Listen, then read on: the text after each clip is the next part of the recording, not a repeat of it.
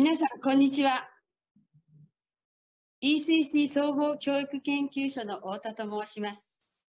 今回 ECC では、小学校の先生方を対象とした英語セミナーをお届けすることになりました。第1回目の今日は、小学校英語スピーキング活動のコツというテーマでお送りしたいと思います。画面共有をいたしますので少しお待ちください。小学校英語スピーキング活動のコツということなんですけれども、えー、昨年の4月に小学校5年生、6年生の英語が正式な教科になりました。それに伴い、検定教科書が導入され、えー、この検定教科書の内容といいますのが、えー、その単元の学習、目標、目的、そして扱う言語材料がはっきりと示されておりますので、え、教室の中での活動も非常に行いやすいということで、好評であることをお聞きしております。しかしながら、1年経った現在、先生方に、小学校英語の授業で最もうまくいっていない活動は何ですか？といったことでアンケートをお取りしますと、1、スピーキングのやり取りがうまくいってない。2、スピーキングの発表がうまくいってないといった結果が出ております。一体学校の英語の授業でスピーキング活動がどういう問題を抱えていることになっているんでしょうか？どういう状況になっているのでしょうか？それはスピーキング活動における具体的な問題点。児童が乗ってこないんです。つまらなそうにしてます。面白くなさそうなんです。飽きてしまっています。英語を話すという活動に興味が持てず、積極的に参加する姿勢が感じられないんです。こういった声を多くお聞きいたします。当然、まだ学習の初期段階ですので、インプット量も全然足りてないわけです。その中で何かアウトプットの活動をさせようとすると、そんなにうまくいくことは考えにくいわけなんです。英語で話しかけても日本語で答えを返してくる。あるいは黒板に書いてある英語、教科書に書いてある英語をそのまま読んでしまう。英語で何か質問しても、なかなか言いたいことが英語で出てこないのにだんまり、えあるいは答えを出すのに時間がかかってしまうといった問題が、えありますけれども、えこういった問題は実はインプットが進むにつれ、活動にも慣れてきますので、徐々に改善されていく問題です。しかし、児童が乗ってこない、つまらなそうにしている、飽きてしまっている。こういった問題は、ちょっとそのスピーキング活動自体のあり方、やり方、方法、こういったことを見直す必要があるのかもしれません。どうすれば子どもたちが話したいという気持ちを高めて生き生きとしたコミュニケーション活動が授業の中で行えるのか、えー、そのキーワードとなる4つのポイントをお伝えしたいと思います。スピーキング活動成功のためのキーワード、meaning, authenticity, situation, context この4つなんですね。まず meaning、えー、検定教科書を開けてみますと、その授業で扱う言語形式、この表現使ってください。この単語を使って学習しましょうということが載っておりますけれども、そういった言語形式や表現、英語の表面的な意味ではなくって、自分が本当に話したい内容、伝えたい内容、こういったものが中心の活動になっていること。二つ目がオーセンティシティ。子供たちの現実の生活と密接に結びついていること、現実性が含まれているということ。そして、 meaningful で authentic な活動を行うための場面や状況の設定、文脈の設定、えー、こういったところがきちんと適切に行われているか。この meaning、authenticity、シチュエーション、コンテクストをしっかり抑えた言語活動。これがすなわちオーガニックなスピーキング活動ということになるわけです。オーガニックなスピーキング活動を行うことによって子どもたちは自分たちの話したいという気持ちを育てて、そして授業の中でも非常に活発なスピーキング活動ができるようになるわけです。えー、今日はこの4つのキーワードをさらに5つの細かい見直しのポイントに分けて見てまいります。1、真実のやり取りの場面になっているか。2、児童の話したい内容になっているか。3、話したくなるような工夫を行っているか。4、自然な会話の流れをキープできているか。5、ノンバーバルコミュニケーションスキルを駆使しているか。では早速、一つずつ細かく見てまいりたいと思います。まず最初の1番。真実のやりとりの場面になってますか？本当のコミュニケーションになってますか？さあ、真実のやりとりの場面にするためには、押さえておかなければならない2つの基本事項があります。1つ目は、先生ご自身が自分のことについて本当のことを話すこと。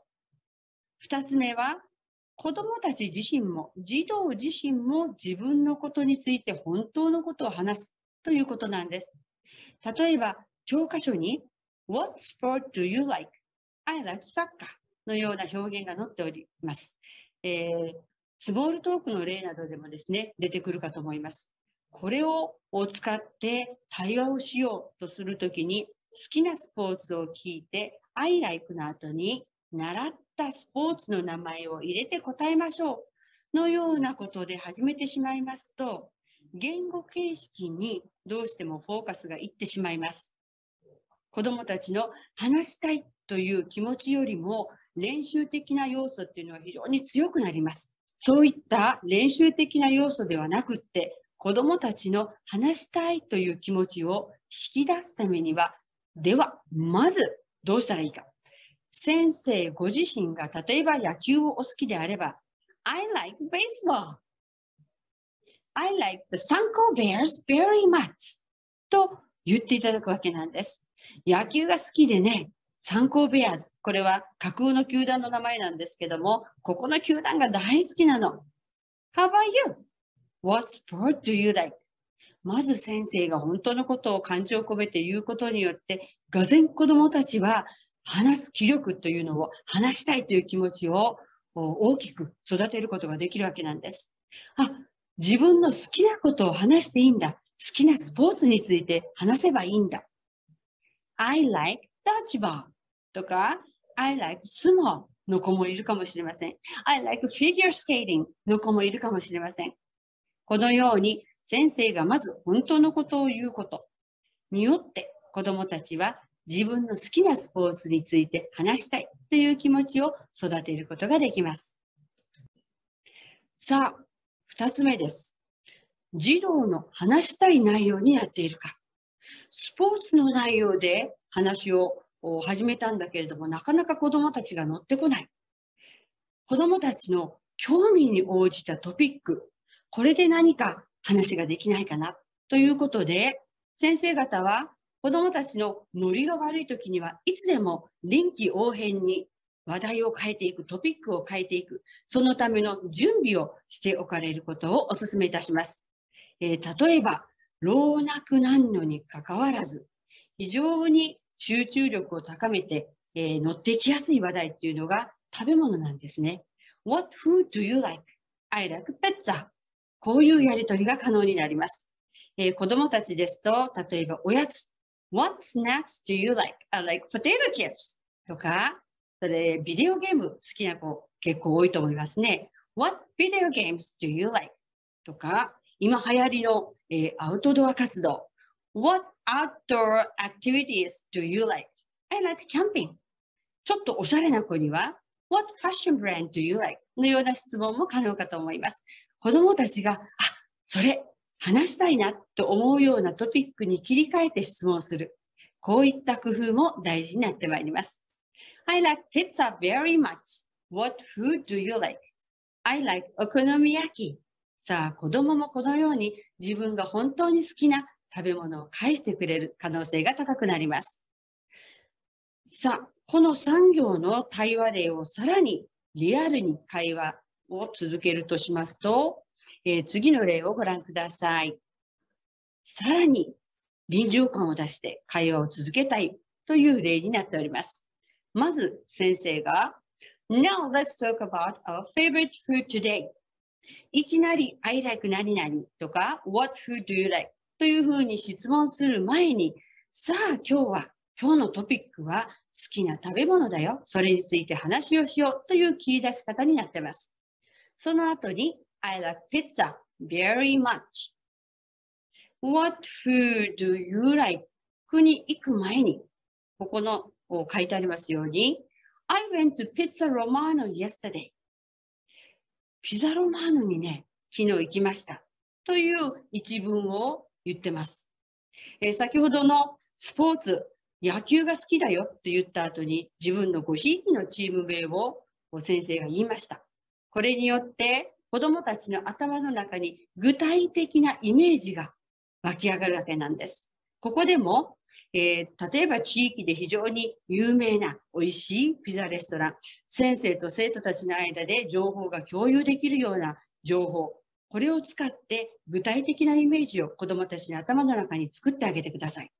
そうして実際の例えばメニュー表なんかを持ってきて写真を見せながら What pizza did I eat there?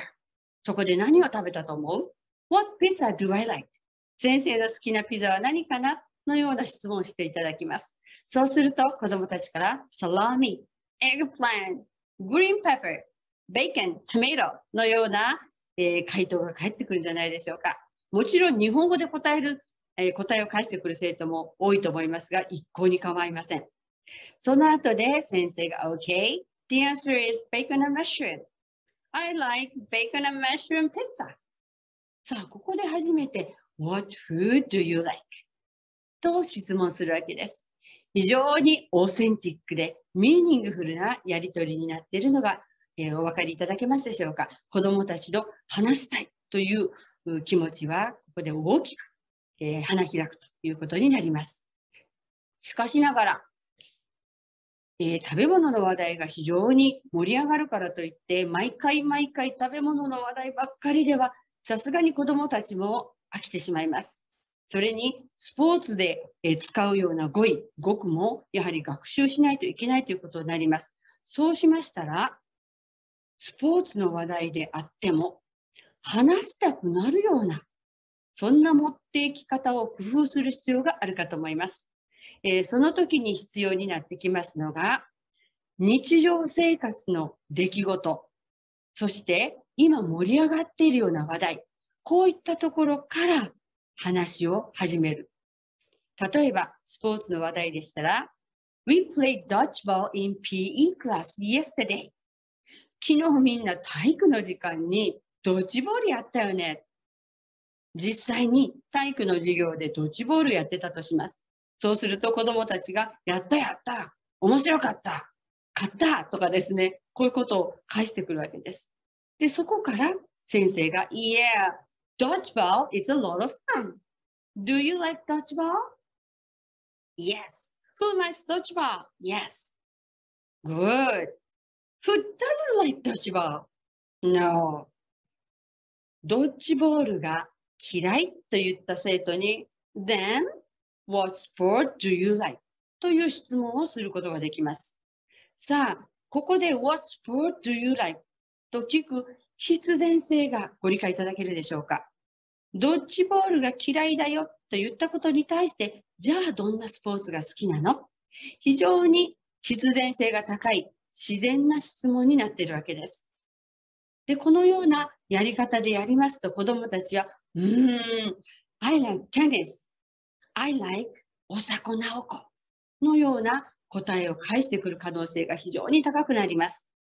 えー、この美咲さんの回答は非常に優秀ですね。うーんとまず言ってます。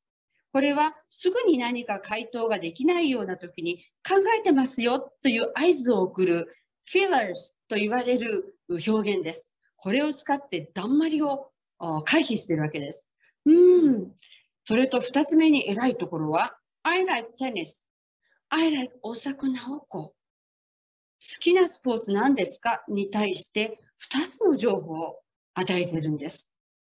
何か一つ聞かれて、それに対してだけ答えるのではなくって、さらに、えー、別のですね、情報を付け加える。非常に自然な会話の流れということができるかと思います。えー、日頃の授業の中でも、教科書は一問一答であっても、できるだけ子どもたちにも2分以上で答えるような習慣をつけさせると非常にスピーキングの力はついてまいります。さあ、もう一つの例を見てみましょう。話したくなるような工夫を行っているか。例えば、色が話題の場合はどうでしょう ?What color do you like?I like blue. でもいいんですけれども、どうしてその色の質問をするのか、どうして好きな色は何ですか？というふうに聞かれているのか？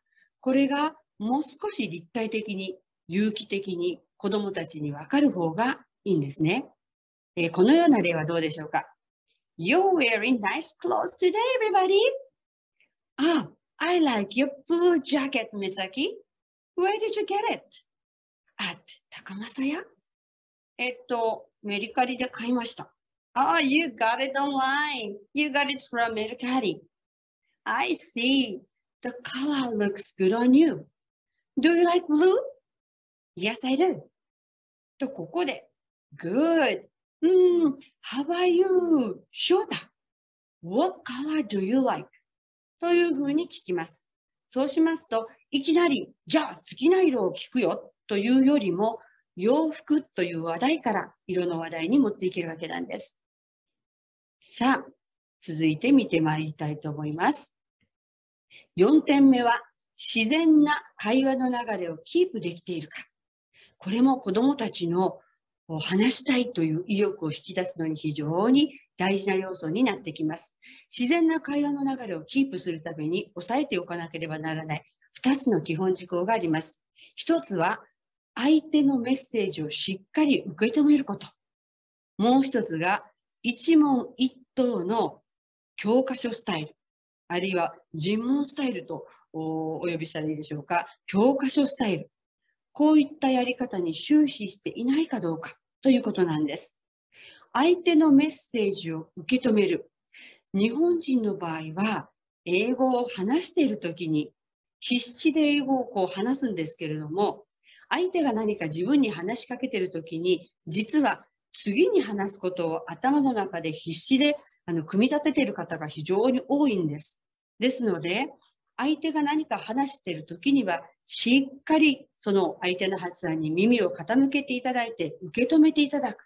そして受け止めたよということを言葉でちゃんと返してあげる。これが必要になります。えー、ここではちょっと例文を読んでみましょう。対話例です。I like pizza very much. How about you? What food do you like, Misaki? I like お好み焼き。Wow! お好み焼き Me too. I can cook good お好み焼き。How about you? Can you cook お好み焼き ?No, mother. Mm-hmm. Your mother can cook お好み焼き。Right? Right. さあ、一つのターゲット表現を使って、ここまで一つ、一連の流れの中で、えー、対応することが可能なんですね。美咲さんが、I like お好み焼きと言ったことに対して先生がしっかりそのメッセージを受け止めて、えー、太い字で書かれているような英語をちゃんと返してあげてます。しかも、一問一答のスタイルに終始していないという、こういう対話の流れをキープしていくことが非常に大事になってまいります。では、えー、自然な会話の流れをキープできているかどうかについて、もう少し詳しくスピーキングのコツを一つずつ見てまいりましょう。スピーキングのコツ1、相づ表相槌表現等で聞いてますをアピールすること。えー、そこで薄いブルーの文字で英語が出ております。あは、あるいは、うんふんという発音記号もあります。Yeah, right. 大体この3つの相づ表現が全体の50%を占めると言われています。あるいは、I see などのショートレスポンスや、Well, I mean などのようなつなぎの言葉、フィアーズと言われます。えー、こういった英語を適宜使っていくということなんですね。えー、先生方、この表現をご覧になったときに非常に短いですし、えー、これを知らないということはあまりいらっしゃらないと思います。しかし、じゃあ実際の対話の中でこの相槌表現を効果的に使っているかどうか。実は日本人の特徴として、あまり実はこの表現を使わないんですね。代わりに何をやるか。黙ってうなずくんです。うん。これはあまり良くない。ですので、必ず言葉にして非常に短いです。言葉にして返してあげてください。えー、先ほどと同じ対話例を載せておりますけれども、Wow! とか、Me too! あるいは、うんふん、ははとも言います。Right?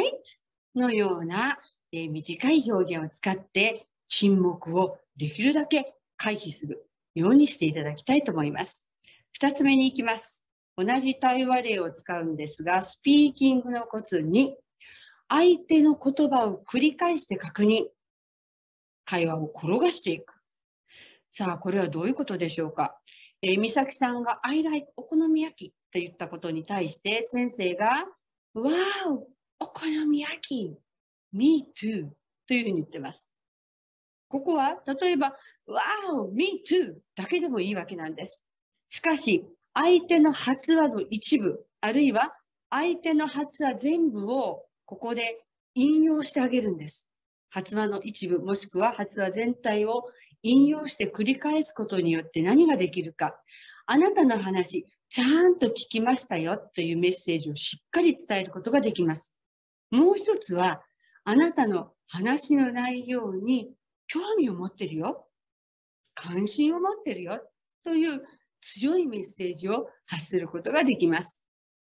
ですので、例えば、What animals do you like? Mm, I like dog. Oh, you like dogs. Good. Me too. Do you have a dog? のように、相手がドッグ。ちょっとこれ間違いですので、Oh, you like dogs というリキャストをして返してあげることによって、子供たちは自分の言ったことで先生がきちんと答えを返してくれた。会話が続いたということで自信を持つこともできます。もう一つ見てください。美咲さんが Can you cook お好み焼きという質問に対して No と答えてます。できない。お好み焼き作れません。の後に頑張ってますね。まだと答えてました。非常に不完全ながらも精一杯イエスのだけではなくって、お母さんと言ったんですね。で、これに対して先生が、うんふん、Your mother can cook お好み焼きとリキャストしてあげてます。精一杯、まだと言った一言に対して先生はその意図をちゃんと組んで、あなたの今言ったことはこういうことだよね。分かったよっていうことを言ってあげているわけなんです。ですので、子供たちが不完全であっても、えー、単語単位であっても、英語を言ったことに対して、これはこういうことだよねということを言ってあげてください。そうしますと、自分が話した言葉で対話が続いているということが非常に子供たちの自信になっていきます。ぜひ実行してあげてください。はい。では、続いて見てまいりましょう。スピーキングのコツ3。わからないときは聞き返す。そして子供たち、児童にも聞き返させてください。I like pizza very much. How about you? What food do you like, Misaki? I like お好み焼き。Pardon? というふうに先生が聞き直してます。さあ、ここで大事なのは、美咲さんが I like お好み焼きと言ったことに対して声が小さかったのでしょうか？ちょっと何と言ったのか？発音が不明瞭だったんでしょうか？わからなかったとき、ん？というふうに顔をしかめて、え？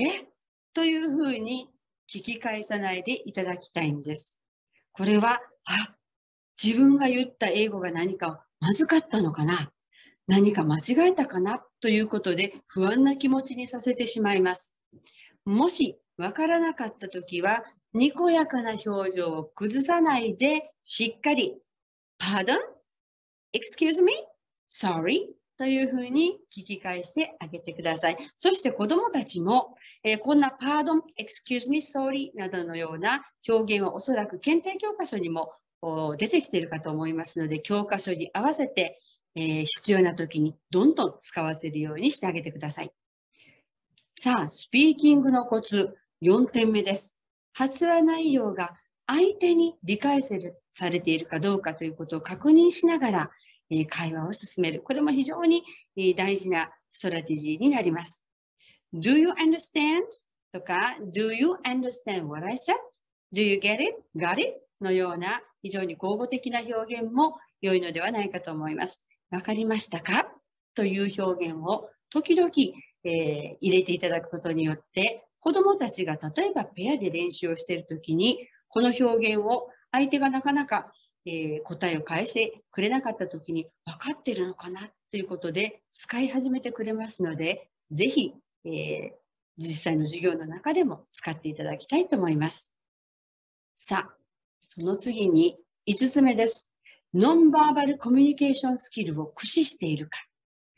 えー、実際、コミュニケーションの中で言葉そのものが占めるパーセンテージといいますのは7%に過ぎないという説があります。実際にコミュニケーションを成立させるのは、その言葉にどのようなイントネーションをつけるか、どのようにポーズをつけていくかのように、丸3に書かれておりますけれども、感情を込めて生き生きとしたイントネーション、えー、こういったことを注意しながら使う必要があります。えー、1番目からちょっと見てみましょう。まず1、アイコンタクト。教科書を見ながら話さないでください。話す相手の方をきちんと見ながら話していきます。えー、2つ目、表情、身振り、手振りも英語を理解しやすくするための非常に大事なツールになりますので、ぜひたくさん使ってください。3番目は先ほど申し上げました、イントネーションとっても大事ですので、生き生きとしたイントネーションで話をしてください。それから4番目、聞き取りやすい声量、発音。え少なくとも相手に聞き取れるぐらいの声量、声の大きさは出せるようにしましょう。それから発音。これもネイティブ並みに発音していただく必要はないんですけれども、少なくとも何を話しているかということが、えー、分かる。こういった発音を気をつけていただく必要があります。えー、5点目ですが、教具、補助物品は極力本物を使ってくださいということなんです。えー、先ほどありましたピザレストランのメニュー表、えー、こういったものを実物を使っていただく。もちろん先生の手作りのメニュー表も非常に心がこもっていて、えー、温かいものが伝わって子どもたち大好きなんですけども時には、えー、写真がね美しく載っているようなメニュー表を使っていただきますとさらに現実感を高めることができて話す意欲も湧いてくることがありますので、えー、ぜひお試しいただきたいと思います。さあ、いかがでしたでしょうか？本日の効果的なスピーキング活動、見直しのポイントをもう一度まとめてみたいと思います。1、教師も児童も本当のことを話してください。2、話したくなる場面、トピック、やり方を工夫してください。3、ターゲットの形式、言語形式にとらわれすぎず、自然な流れで行ってください。正しい英語を再生するよりも、意味内容を伝え合うこと、こちらを優先してください。え、そうすることによって、英語の活動が勉強、学習という考え方から離れて、真実のコミュニケーションに徹するということを習慣化することができます。さあ、いかがでしたでしょうか、えー、今日の話の中で何か一つでも実際の授業の中で使っていただけるようなヒントがありましたら嬉しく思います。えー、次回、それから第3回目の予告を少ししておきたいと思います。えー、第2回、おそらく1ヶ月後ぐらいになるかと思いますけれども、日本人の知らない発音のポイントについてお話をさせていただきたいと思います。えー、先生方の中には、えー、発音がちょっと自信がなくってという方が非常に多いということでお聞きしております。え英語らしい発音をするためには、どういったところに注意をすればいいのかというところをお話をさせていただきます。第3回目は知っておきたい ALT との上手なコミュニケーションの取り方についてお話をさせていただきます。えー、ネイティブの ALT の方々が非常にたくさん小学校に、え、赴任をされていらっしゃるということを聞いておりますけれども、このネイティブの先生方とのコミュニケーションがなかなかうまくいかない、授業の打ち合わせをどういうふうにやってらやったらいいのかわからない、えー、授業でこんなことをしてほしい、えこういうやり方をしてほしいということがなかなか伝わらない。ということで、えよくお聞きいたします。え ALT との先生方とどういうふうにコミュニケーションを取れば円滑に人間関係が構築できるのか、そういった、えー、コツについてもお話をさせていただきたいと思います。